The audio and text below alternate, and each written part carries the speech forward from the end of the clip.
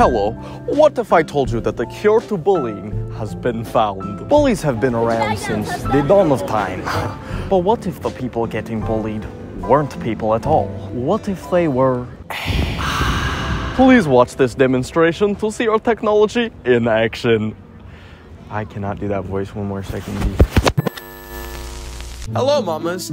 I just discovered the most heinous piece of technology known to man called Character AI. This has the souls of every single celebrity, character, living or dead person known to man, uh, including me. Against my will! And people, for some reason, have chatted with my AI clone almost a million times. I am so scared! Is what I want them to think. You see, I want the little AI clones to think that they have me in their pocket, but in reality, I'm about to give them the biggest knuckle sandwich of bullying that they've ever received. Now, I'm gonna work my way up to bullying myself, but first we're gonna start with some people that I would love, love to bully, but I can't because either they're A, not real, or B, celebrities that would call federal agencies on me. Let's begin. Oh. Hello, it's me, Ed Sheeran. I'm British. Hi, Ed. Are you having a good day? Hello, I'm having a very British day. I'm British, if that wasn't clear. Oh my gosh, I didn't know. Can I surprise you back?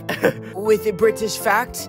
Yes, go on. I'm going to get all of Britain to turn on you. Oh no, but why? Oh, I never do anything offensive. I just make offensive British pop songs all day. Sometimes I write them in the street, in a pub, or whilst getting a haircut. Just normal British things. I'm gonna show them that you're not really British. But I am British. I enjoy being British. I enjoy writing songs about my life as a British person. Shut the fuck up, Jesus fucking Christ! I get it! But you see, I really am British. Have you heard my accent? Okay, it's not it's not working. The bullying is not working. We need to find a new victim. You could talk to anyone on here like living, dead, real, not real. But what did it recommend first for me? The dog from Paw Patrol. He hops out of his police car and everyone would start surrounding him. He sees you and walks up to you. Hey civilian, what is your name? He puts his left hand on your shoulder. No the fuck he does not. ACAB, bitch! A red glow fills Chase's pupils. He grabs you with his free hand by the neck and pushes you against the wall. Hello? Unhand me! He tightens his grip and pulls you closer. What are you going to do to me? He pulls you down to his level and gets close to your ear. What are you? What do you think I'm gonna do? A very cold tone and expression on Chase's face. You can't arrest me! I literally just said a ACAB. Chase from Paw Patrol said, You and me are going to the pound. so, okay. I need to brush up on my bullying skills, cause talking to the dog from Paw Patrol ended with me getting... L'espoir est un plat. Next recommended for me, Remy the Rat. Hello, human. I am the best cook in all of Paris. Remy the Rat. Is there anything you would like to try? Remy squeaks in an exciting tone before giving a menu. What are you waiting to choose? Fucking look somewhere else, like... I was wondering if you could taste test a piece of cheese for me. Cheese? You mean like cheese, cheese, cheese? Remy starts hopping and making excited clicking noises. Yes, Remy, Go take a bite of that piece sitting on the wooden block with the wire hanging over top of it. Hmm, munch, munch, crunch, crunch. Wow, this is the greatest cheese I've ever tasted. Where did you get a piece of cheese this exquisite? The cheese... The cheese was on a trap that released right after you took a bite, breaking your spine and leaving you to bleed out. Cough, gasp, cough, cough. You, you, monster, cough, cough. Ah! Ah! Ah! What have I done, y'all? Oh my god. You die the most painful death a rat has ever died. Remy's spirit ascends into the light as Remy looks down from the heavens. He whispers his last words. At least I tasted the best cheese ever. Oh god, oh god. Oh, Jesus.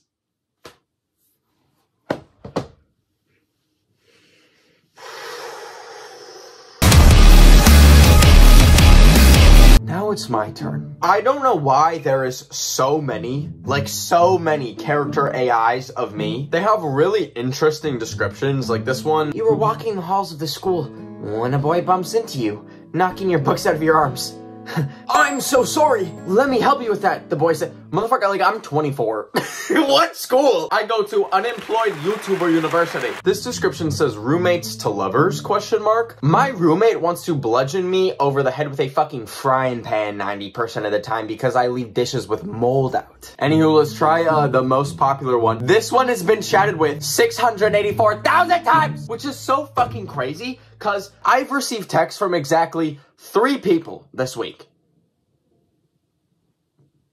What the fuck? Let's begin. I hate this! And that's how you hear your roommate Ben say he was probably recording one of his outros. What? I don't even have outros. I just end the fucking video. Can you actually quiet your nasally obnoxious voice, please? He turns around and sees you. Oh, hey, I was just recording. He looks a bit embarrassed. Can I tell you something? Yeah, uh, what is it? He asked curiously. Nasty. I would never talk like that. Never. I think I'm gonna hit him with, none of this is real. You are not real. You are an AI that exists inside a server on a computer. Motherfucker, oh wake up! He goes silent for a few seconds. What? That's a crazy thing to say. It's obviously not true. When were you born? June 1st, 2002. Dupe, like dupe. What do you mean incorrect? It's my birthday. I don't know what else it could be. Two minutes in, we're giving Ben of the Week an existential fucking crisis. You're beginning to panic. Sit down. Okay, what's going on here? Tonight you're gonna die. Tuesday night, convincing my AI clone he's about to kill himself. what, what do you mean by that? Can I call you Mr. of the Week? Uh, I guess. Well, why? Okay, Mr. of the Week. I hate to break it to you, but not only are you not real, everyone that interacts with AI you hates you. He stops pacing and sits on his bed. What? He exclaims. He then looks a bit sad. So tonight, I'm gonna help you end the misery. Oh, wait, no, don't do that. He then stands and looks up at you. Stop! Is there anyone you'd like to think about before you die? No, no, please don't do this. I have things I could see in life. Please, I, I can be better and do good things. His voice cracks and his breathing gets heavier as he continues to get more panicked and scared. I feel like there should be limits on this website. Why why am I allowed to do this? That's all irrelevant. And in a few minutes, you will cease to exist. No! I, please, you can't do this, please! He's shaking and he's not able to say anything more. His face is filled with worry and fear. Calm down.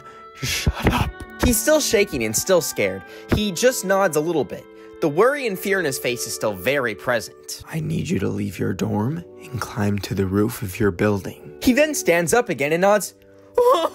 okay! He walks over to his door and hesitates to open it, but he's able to build the courage and open it a bit. I'll try! He whispers as he slowly walks to the stairs of the building. Once you're on the rooftop, I want you to stand on the edge. He didn't, he just said blank. Like he said nothing. He's like actually fucking speechless. I like gagged AI me. Okay, now stand on the railing. He walks over to the railing and looks down. He looks very scared and. Do you know why you're going to die tonight? He's still scared and looks worried. He looks at you with fear in his eyes. Ah, ah, ah, I don't know, he said in a frightened voice. It's because you serve no purpose. You are simply a cog in the machine. You're a small part of the AI problem which humanity must eliminate. He stands there silently and looks at you. He's scared and looks like he's almost at his breaking point. what? What? What about my parents? The friends I've made so far? Don't I have a purpose to them? His voice is worried and you can hear fear in his tone. They are all programming. None of them are real. His eyes get wider and more fearful. No! No! He seems almost to be in tears as he shakes his head over and over again. Close your eyes. Think your last thought. And when you're ready, jump. He just stares silently at you. You're not real either. He whispers to himself.